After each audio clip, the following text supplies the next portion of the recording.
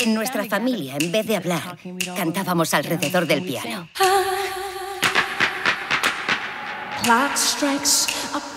Mamá era bastante dura con Whitney. Sabía de lo que era capaz.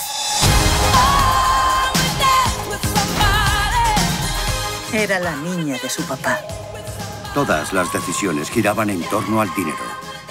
Y un día su padre le reclamó 100 millones de dólares. Eso le partió el corazón. Iban a las galas haciéndose pasar por una familia perfecta. Mi hermano y yo cuidábamos de Whitney. Los dos tomaban drogas. Whitney pensó que si se casaba, sería feliz para siempre.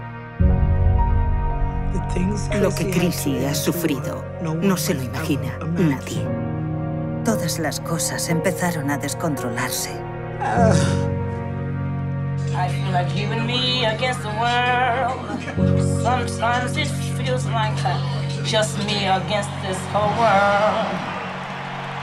Era una niña pequeña que solo quería volver a su casa.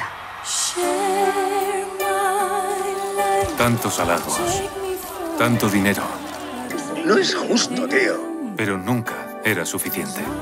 Me divierto. Eso es lo que importa. Siempre había secretos. O los resuelves.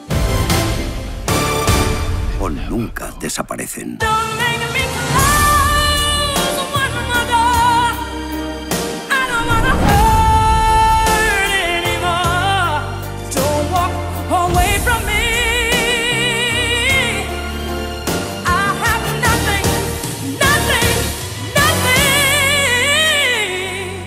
O se tiene o no se tiene. Ella lo tiene. Escúchenla. Es Whitney Houston.